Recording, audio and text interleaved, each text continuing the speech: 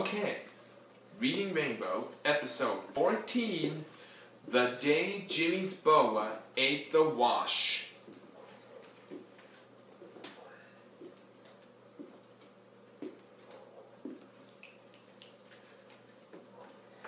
Hi, how was your class trip to the farm? Oh, boring.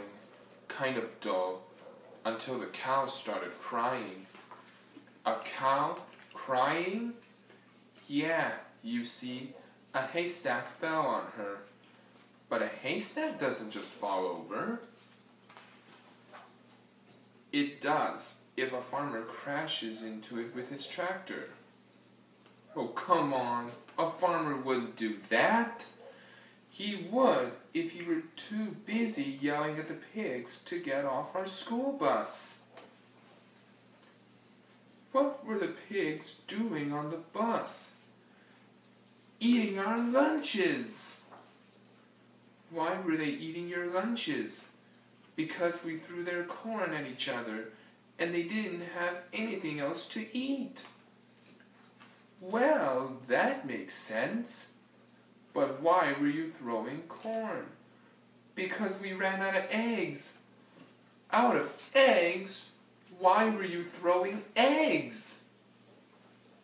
Because of the boa constrictor. The boa constrictor? Yeah, Jimmy's pet boa constrictor. What was Jimmy's pet boa constrictor doing on the farm? Oh, he brought it to meet all the farm animals. But the chickens didn't like it. You mean he took it into the hen house? Yeah, and the chickens started squawking and flying around. Go on, go on, what happened? Well, one hen got excited and laid an egg, and it landed on Jenny's head. The hen? No. The egg, and it broke yucky all over her hair. What did she do? She got mad because she thought Tommy threw it, so she threw one at him. What did Tommy do? Oh, he ducked and the egg hit Marianne in the face.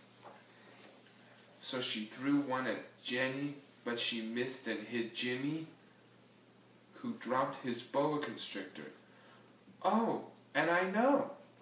The next thing you knew, everyone was throwing eggs, right? Right. And when you ran out of eggs, you threw the pigs corn, right?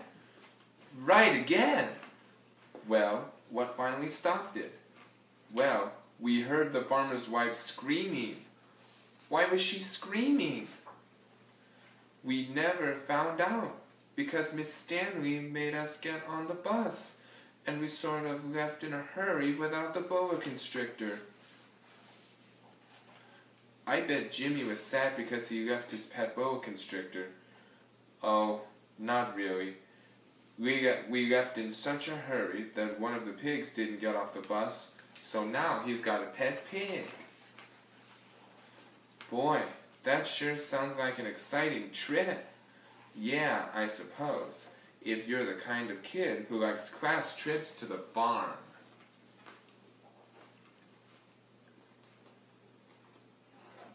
The end.